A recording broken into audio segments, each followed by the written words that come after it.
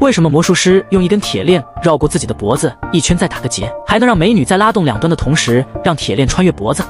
因为魔术师并没有真的将铁链绕过自己的脖子，而是将铁链一端折叠在后面，并用另一根压在上面，这样从正前方观看是没有任何问题的。紧接着，魔术师在将铁链打结以后，交给两位助手，最后只需拉动铁链即可完成穿越效果。为什么魔术师能够让进入帘子后面的四位美女瞬间消失不见？因为美女进去帘子以后，就会躲到后方的暗格里面，并用手拿着靴子模拟走路的姿势，让前方的观众以为真的是美女走到幕布后面了。最后，当帘子放下之时，美女将靴子挂在杆子上面，让其升到上方，这样四位美女就凭空消失不见了。为什么魔术师能够让一颗金属球自由地漂浮在空中？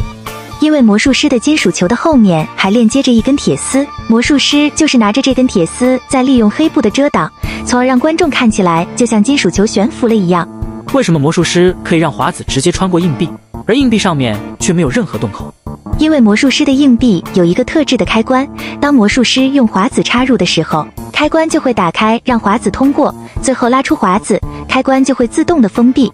为什么魔术师能够让金属勺子一点点的向上弯曲？因为魔术师在已经断裂的勺子中间加入了一节塑料管，利用塑料管自身的弹力，魔术师只需要将捏在手里的勺子慢慢放松，就能让它慢慢向上弯曲了。